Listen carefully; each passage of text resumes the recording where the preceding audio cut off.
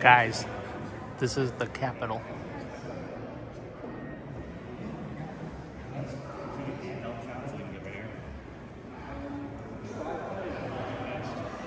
I'm just saying because down here you can't really do that.